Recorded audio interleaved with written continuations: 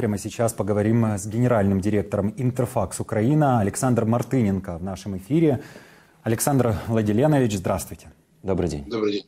Итак, итальянская пресса, как мы только что сказали, публикует такую статью, сотни копипастов, ссылок, разговоров за эти дни. В Украинском центре противодействия дезинформации говорят о том, что подтвержденной информации об этом событии нет. Расскажите, вот как правильно относиться к подобному роду информации, которую опубликовала Ла Република? Ну, знаете, ко всем э, видам информации, которые публикуют не только для Република, Република, а также другие э, издания, в том числе, кстати говоря, очень известные и, и уважаемые, надо относиться с большой долей э, скептицизма здорового. Я имею в виду, не отвергая сразу, конечно, но понимая, что мы живем в мире фейков, и, ну, к сожалению, фейки не проходят мимо даже уважаемых, респектабельных ранее изданий. Все бывает. Знаете, как, как человек, который в журналистике работает давно, говоришь, бывает все. Бывает, приходит информация, которую ты сразу не можешь определить, фейк это или нет. А в наше время так тем более. Поэтому э, на веру брать ничего нельзя вообще э, проверять, э, э, смотреть, что, что подтверждается, что не подтверждается. Где-то есть вторые, третьи источники, четвертые. Но, тем не менее, мы прекрасно мы живем во время войны информационной, в том числе и запугивание э, противника – это один из элементов этой информационной войны. В данном конкретном случае, конечно, у меня возник вопрос, почему утечка из э, НАТО, из штаб-квартиры пошла в газету «Для Республика». Ну, честно, мне немножко странновато, потому что я понимал бы, если это был там Вашингтон Пост, Нью-Йорк Таймс, там какие-то другие компании известные, но с «Для Республикой» э, что-то получилось, наверное, не так. При этом, еще раз говорю, мы сейчас не можем стопроцентно сказать, что ее там нет. А, то есть она не бродит там где-то подводная лодка по просторам океана. Но, в общем, э, честно, именно э, то, что речь идет именно о ней, укладывается в теорию запугивания, потому что именно на ее борту находится вот это мифическое достаточно до сегодняшнего момента оружие, которое может затопить э, там пол, половину Соединенных Штатов Америки путем ядерного взрыва большой мощности, огромной мощности в, в Атлантическом океане. Никто этого оружия не видел в глаза, никто не понимает, есть оно или нет. Александр Владимирович, а, вы говорите о так называемой ракете «Посейдон», да? Ну, «Посейдон», да. да. А почему? Что в ней мифического, расскажите? То есть э, есть ну, основания полагать, что такого, может быть, вообще не существует? Оружие ну, знаете, призвано... Показывает, да, как показывает опыт нашего знакомства с российской армией, то многое из того, что должно было там быть, на самом деле э, его там не оказалось по разным причинам. То ли потому, что это был просто фейк, ну типа танка «Армата», да, то ли потому, что э, идея это была, например, создание какого-либо оружия, а потом все деньги украли и оружия не оказалось. При этом никто не утверждает, что, это, что фейки там абсолютно все. Например, там ракета «Кинжал» — это абсолютно реальная ракета, к сожалению, мы э, знаем, что она существует, и мы действительно э, почувствовали, что это такое. Но что касается Посейдона, это, я напомню, просто несколько лет назад Путин как-то выступил с большой вот такой телепрезентацией, где были показаны мультики о новейшем российском оружии, ну, понятно, чтобы запугать всех остальных. И вот там было сказано, что это такая ракета, ракета, если не ошибаюсь, 100 мегатонн ее мощность, которая, взрыв, которая взрывается в воде и э, создает волну океанскую не то 200 метров, не то 500, там по разным данным. А, и смывает вот это все побережье Соединенных Штатов э, на в глубине до 500 километров. Ну, в общем, знаете, такой фильм «Послезавтра», только в живом, в реальном варианте. Ну, почему, э, знаете, почему мне кажется, что это еще никто не понимает, есть она или нет ее, потому что уж слишком это кинематографи- кинематографическая история, знаете, понятная многим американцам, потому что все так или иначе смотрели фильмы, где то ли 2012, то ли послезавтра, где огромная волна смывает половину Соединенных Штатов. Вот. Но ничего исключать нельзя, поэтому еще раз говорю, я сказал, говорить 100% что существует нет, э, какая-то доля вероятности в этом есть, поэтому следим за, за новостями. Александр Владимирович, тут, наверное, э, нужно вспомнить и сказать зрителям, что последние, наверное, последние подобные испытания какой-то страшной ракеты э, российскими подлодками были 22 года назад и закончились а, трагедией с подлодкой «Курск». Ну, там, если честно, там не было э, испытаний с пуском ракет, там они готовились еще только ну, пуску, потом ракета, как известно, застряла. Да. Э, это, э, даже не ракета, там, по-моему, торпеда, торпеда была в торпедном аппарате, и, соответственно, да, кстати, Белгород это из той же серии подводная лодка, что и Курск, так, так к слову сказать. А, вот, поэтому все это бывает, но это если иметь в виду э, испытания подводные, да, подводных лодок. Сейчас со флотом, как известно, в России не очень хорошо по разным причинам, потому что как бы деньги не доходили, флот не, не особенно крутился. То есть американский флот в этом смысле раз в 20, конечно, мощнее и по возможностям, по потенциалу, и по возможностям слежения, кстати. Что не исключает возможности каких-то диверсий подводных, это, конечно, может быть.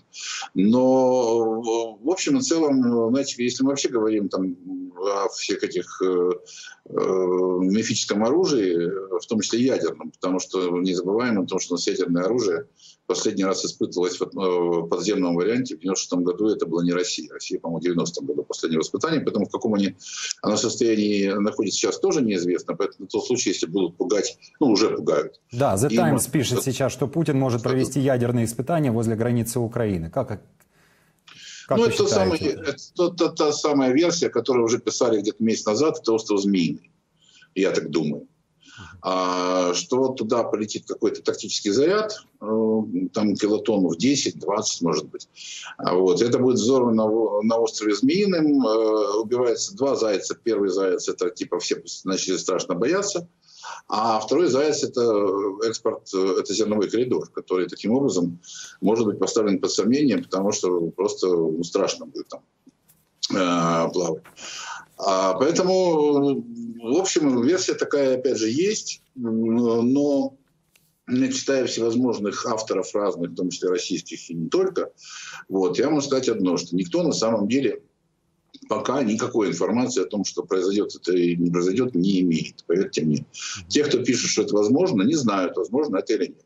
Они просто так все прикинули в голове. Ну, наверное, чтобы не ошибиться в будущем, скажу, что может быть да, а может нет. Ну, потому Поэтому... что от Путина непонятно, чего можно ожидать. Ну да, все исходят из того, что он не совсем, да, не совсем меняемый человек, поэтому мало ли что в голову приходит. Конечно, может быть и, и что-то взорвет. Хотя э, многочисленные эксперты, в том числе и уважаемые разные, э, еще остались, в том числе и в России, как ни странно, они говорят о том, что, э, конечно, любой тактический ядерный заряд – Э, взорванных где бы то ни было, неизбежно, они просто на пальцах показывают, потому что российскому руководству неизбежно придет к э, ядерной войне стратегическим оружием. Это просто иначе быть не может. Вот. И поэтому человек, который начав это, он просто должен понимать, что он дойдет до конца.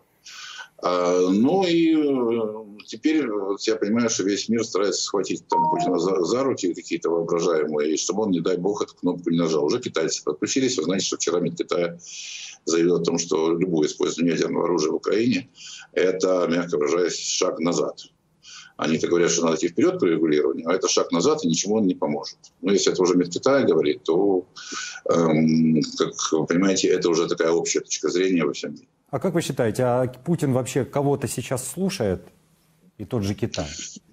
Ой, вы знаете, мы тут тоже можно очень долго рассказывать. Я, я очень не люблю путиноведов, и которые знают, что в голове у Путина, чем он, как он утром встает, чистит зубы, и с кем он общается. Я не знаю, с кем он общается. Мы только можем видеть по, а, по последствиям по действиям, анализировать действия, которые происходят. Действия говорят о том, что а, все, вся эта, весь этот корабль под названием, этот русский корабль под названием Кремль, он идет очень неизвестно куда, практически вслепую он просто катится. Ну, мы-то знаем, куда он идет, конечно, но пока он туда не дойдет, он просто катится по, по поверхности. И у меня очень ощущение, что на мостике просто уже не совсем понимают, куда крутить и с какой скоростью. Э, то есть все э, принимаемые решения принимаются спонтанно, без, не думая о том, чем, чему это, чем это закончится, не думая о последствиях, не думая о какой-то стратегии. Слово «стратегия», по-моему, там запрещено уже в России. Тактика тоже, в общем, под вопросом. И поэтому оно все, знаете, такая реактивная политика, то есть реакция на что-то. Поэтому что может быть прийти в голову? Может теоретически нажать, ну, тут не кнопку нажать, имеется в виду дать приказ на там какой-нибудь, а, значит, э, стрельнуть какой-нибудь гаубицей 152 миллиметровой с ядерным зарядом. Но в теории все может быть. К чему это поведет? Мы можем только догадываться, потому что американцы тоже в открытую не говорят. Но пугают чем страшным. В этом случае я им верю. Э, Соединенным Штатам и тем, кто об этом говорит, что э, нечто страшное для России будет. Разрушительные последствия, которыми, э, о которых говорят американцы, с моей точки зрения, это именно разрушение. Тут должно быть Наверное, совершенно... не случайно сейчас вот а, а, американских дипломатов просят и европейских дипломатов выезжать из Москвы. Наверное, ну, это не просто Там, так. на самом деле, граждан просят э, пока еще эвакуации. Посольства американского, по-моему, еще Ну, нет. Ну, граждан, может, да, будет, да, да. да, может, будет, но там маленькое, там совсем немного осталось людей. А вот граждан США и там нескольких других стран... Да. э, Чехия вчера заявила. Да, Российской Федерации всего сейчас будут такие заявления одно за другим в ближайшие дни, потому что это если это решение Евросоюза там, или Штатов, то это все могут все к нему присоединяться. Ну, у них, знаете, у них же версия, что это мы делаем для того, чтобы люди с двойным гражданством случайно не попали в российскую армию, не были призваны. Поэтому они уезжаете. Но на самом деле реально это, конечно, игры- такой ход в информационной войне а, со стороны Штатов и со стороны Запада в целом. Между сейчас эти будут страны, нас каждый, каждый день, там, через день они будут тоже, тоже кого-то просить уехать оттуда, своих граждан. А это, да, это ход войны. Вот на- надо понимать, что идет информационная война, поэтому многое из того, что мы слышим, это на самом деле не совсем реальность. Это хода, такая вот просчитанные ходы в этой войне. Александр Владимирович, вот на днях появилась еще одна интересная точка зрения. Выразил ее сенатор США Марко Рубио в интервью CNN. Он заявил, что Россия может нанести удар по аэропортам и распределительным пунктам в Польше, через которые поступает западная военная помощь для Украины. Что вы думаете о таком развитии событий? Ведь Ну, порой знаете- кажется, что Россия жаждет войны с НАТО, или это ошибочное восприятие? Опять же, понимаете, если э, руководство России жаждет самоубийства, а иногда и такая, такая точка зрения есть, что ему просто Путину над- надоело все это, все это жить, он хочет опро- опрокинуть доску и горено все огнем. Вот. Если мыслить такой логике, то, конечно, все может быть. Может и удар по Польше, и по Финляндии, и по Германии, потому что если ты ударил по Польше, тебе уже все равно. Ты должен быть и по Берлину, и по Лондону, и по Вашингтону. Потому что на самом деле это одно и то же. И э, мечты некоторых российских экспертов, типа господина Караганова, который говорит, что значит, если будет стерт с лица земли Познань, то Америка не пошевельнется, потому что ей жалко своего Бостона под угрозой. Вот. Так вот, это на самом деле э, фантазии э, и мечты, э, которые, ну, которым во сне, которые могут еще прийти. Но реально серьезный человек понимает, что любой удар, любой, причем не только ядерный, а просто, ядерный, просто любой удар по стране-члену НАТО, тем более по такому, как Польша, оно вызовет как минимум адекватную реакцию, то есть ответную реакцию симметричную, а как максимум асимметричную, то есть большую. Еще раз, если в Кремле решили закончить с, Россией, с цивилизацией, с, человек- с человечеством вообще, они могут запустить все ракеты во все возможные стороны, веером их выпустить. А вот. Но если хоть что-то, хоть какой-то шанс они оставляют себе же самим, имеется в виду, на будущую жизнь, и кто-то там не захочет умирать прямо сегодня ради значит, какой-то с- м, величия России, вот, то, конечно, этого делать они не будут. Я- Александр я очень- наверное, нужно еще а, надеюсь, обязательно отметить вопрос о э, технической пригодности э, этих ракет, которыми они пугают э, всех вокруг. Потому что мы вот с экспертами разбирали эту тему, то есть э, ракеты уже давно, в принципе, отслужили. И э, мы знаем, по Да. примеру, ракет, которые взлетали и просто падали в том, том же Белгороде, в Крыму. Вот. Ну, смотрите, есть э, тактические, если мы там по те- технологиям, те- та- тактические ракеты типа Искандера. Они, как мы знаем, летят. Летят по-разному. Вы это тоже видели. Летят куда надо, а иногда не туда, куда надо. Вот, это первое. Если тут стратегические ракеты, то там совсем все дело э, непросто, потому что это действительно недавно у нас был интервью Резникова, министра обороны, и он вспомнил разговор с Кучмой, который, собственно, эти ракеты и делал, как известно, на Южмаше, потому что «Сатана», которая, э, значит, э, которая делалась на Южмаше, до сих пор на вооружении России, они только собираются ее заменить на этот «Сармат» свой. Так вот, э, и Кучма задал резонный вопрос. Они были созданы тогда, черт знает, когда 30 лет назад. А кто их за все это время, да, Украина их передала, кто их за это время обслуживал, какие инженеры ими занимались, сколько лет этим инженерам? И действительно вопрос в этом есть. То есть и, э, и вопрос по, такти- по- вообще по ядерному оружию, потому что, еще раз испытания последние в Советском Союзе, подземные, подчеркиваю, проводились в 90-м году. Это было, соответственно, 32 года назад. Поэтому, кстати, сейчас многие эксперты пишут, что перед тем, как э, что-то применять, неплохо бы что-то испытать. Потому что вообще оно работает или нет. Потому что может так получиться, что действительно оно то ли не взорвется, то ли взорвется не так, как надо. А, вот. Но я вам сразу скажу, ядерные испытания, каким бы то ни было, э, это будет, э, ну, это будет, знаете, в переносном смысле взрыв атомной бомбы для всего мирового сообщества. Потому что есть договор о запрещении ядерных испытаний, как известно, которому все, в общем, придерживаются. Если Россия из него выйдет, это уже до ударов всяких по Украине, это будет ну, глобальный такой удар. Я думаю, что вот после этого момента могут возникнуть всякие разные и другие приготовления разных стран к реальной ядерной атаке. Александр Ленович, а если подумать, что ну вот Путин, который уже считает э, Донбасс своим э, ввиду вот этой, э, этого псевдореферендума и сейчас этих голосований в Госдуме, и сегодня он там должен что-то подписать.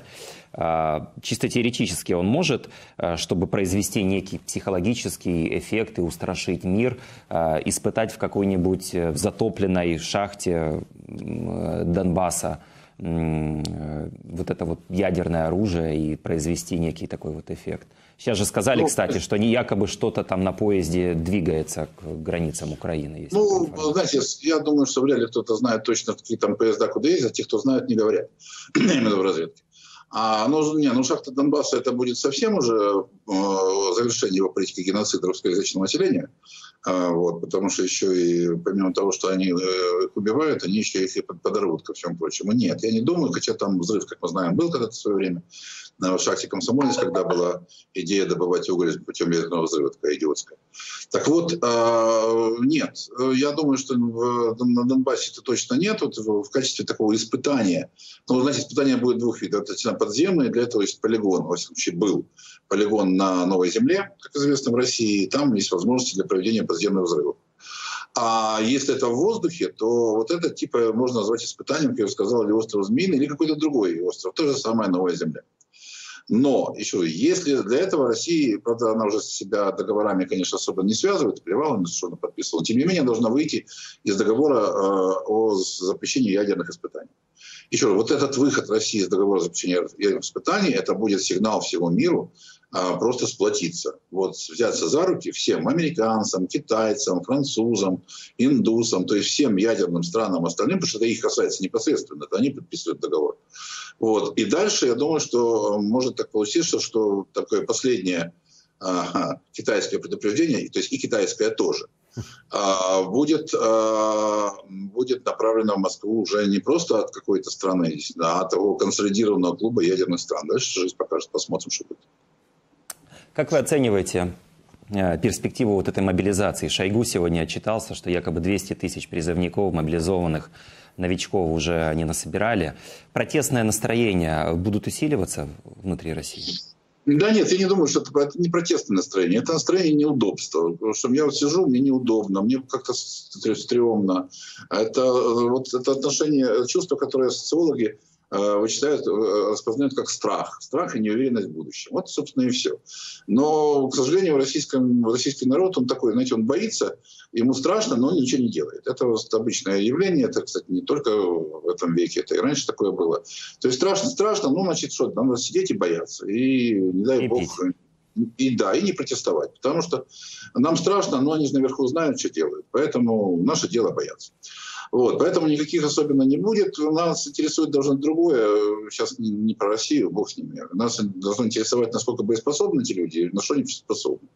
Вот 200 тысяч человек или 300, которые них наберут. А вот, это вопрос. То есть мы Думаю, увидим это где-то там недели через две, через три. Но прекрасно осознаем, что бы, как бы они их не готовили, что бы они ни делали, конечно, по, не по уровню готовности, не по уровню подготовки, да ни по какому другому уровню они не будут сравнимы с теми э, российскими вооруженными силами, которые уже были на территории Украины в течение последних восьми месяцев. Это сто процентов. А, значит, э, то есть э, эта новая любительская армия, она вот этой старой профессиональной армии, которая в России, она ей проиграла. Вот. Но поскольку российская профессиональная проиграла украинской, то мы, в общем, понимаем, чем это может, может кончиться. Единственный момент, это действительно это количество, то есть они там теоретически могут загнать кучу этого народа вместе с танками Т-62, э, там образ 50-летней давности, загнать куда-нибудь в Белоруссию и поставить на границе, чтобы мы их боялись, у нас оттягивалось там дополнительные силы для того, чтобы мы охраняли еще белорусскую границу. Вот, собственно, все. Я считаю, больше ничего. Дальше пусть военные, конечно, эксперты говорят, но с моей, с моей точки зрения так. Хотя это, конечно, достаточно неприятно. Вот. И хотелось, конечно, чтобы они, эти э, призванные в армии люди, например, занялись под руководством своих командиров, например, Пригожиным, который регулярно оскорбляет и дискредитирует э, российскую армию. Пригожин, я напомню, этот хозяин ЧВК «Вагнер», да, с Кадыровым. Да, который просто наговорил в последнее время, по-моему, лет на 30 тюрьмы за дискредитацию российской армии. Вот им бы занялись, без цены бы не было. Александр Владимирович, Сегодня Владимир Зеленский вел в действие решение Совета национальной безопасности и обороны, в котором констатирована невозможность вести переговоры с президентом Российской Федерации Путиным, а также необходимость усиления обороноспособности Украины. В Кремле уже отреагировали на это, заявив, что будут ждать, когда Владимир Зеленский изменит свою позицию или же когда в Украине будет другой президент. Вот интересна такая позиция того же Пескова, который это все говорит. Он говорит это уверенно, э, несмотря на то, что выборы президента России будут раньше, чем выборы президента Украины. Как думаете, Путин уже предполагает и думает, что он усидит в кресле в 2024 году после того, что он наделал? Ну, на самом деле, эти выборы будут в один год. У нас 24 год. Да. Год, как известно... Президента России 18 марта, а у Украины а, в конце марта. Да. Там еще в конце этого же года выборы президента Соединенных Штатов, но это так, до, до кучи.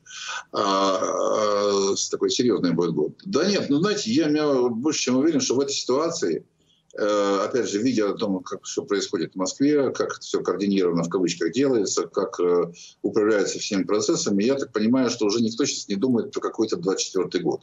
Это можно думать, сидя спокойно, когда у тебя есть время, когда ничего не происходит, ты сам спокойно готовишь. То ли себе там какой-нибудь очередной срок, то ли э, значит, преемника, которого можно посадить под собой и им руководить. Нет, сейчас не та ситуация, когда э, там падают фронты, когда разрушаются, когда э, действительно непонятно, что происходит с народом, потому что мы вот так мы говорим, конечно, что они там тихие, спокойные, никогда ничего не, не сделают, но никто же не проверял на самом деле этот российский народ на мобилизацию. Никто еще никогда этого не было, ну, как известно, 70 лет. Поэтому Бог его знает, чем это может выползти там через какое-то время, а, а трупы пойдут. А пойдут трупы в большие города, они пойдут, никуда не денутся. Как они отреагируют, неизвестно. Именно поэтому, кстати говоря, эксперты близкие к ФСБ были не, не очень рады, то, что я видел в телеграммах, разных каналах, они были не очень рады этому обстоятельству, всей мобилизации в целом, понимая, что они будут отвечать за стабильность в России. А стабильности это ну, совсем не, не дает. Поэтому, знаете, мне сейчас, мне кажется, что э, им надо прежде всего, не думая, когда потом будут выборы, просто выйти из этой ситуации. Причем разные люди какие-то выходы видят, что надо где-то остановиться, притормозить, от, отступить назад. Но поскольку Владимир Владимирович Путин сел на велосипед и несется, значит, пропасти со страшной скоростью, по-моему, уже руки не держит на руле, а все едут за ним, вот, то вот это всех и пугает. Поэтому нет, вопрос сейчас не о выборах, а по поводу того, что они будут ждать другого президента Украины, ну, они никогда не понимали Украину, как известно, в э, Москве. Они считали, что разбираться в Украине – это ниже собственного достоинства а, взаимоотношения украинской политики, за что и поплатились, кстати. А, ну и сейчас это их не интересует, поэтому они там рассказывают про каких-то других президентов. Они только в декабре прошлого года поняли, что президентом России, Украины не может быть российский политик. О чем мы вообще говорим, Господи? Александр Владимирович, спасибо вам большое за ваши комментарии, за то, что нашли время для телеканала Freedom. Александр Мартыненко, генеральный директор информационного агентства Интерфакс, был с нами э, в прямом эфире. Интерфакс Украина.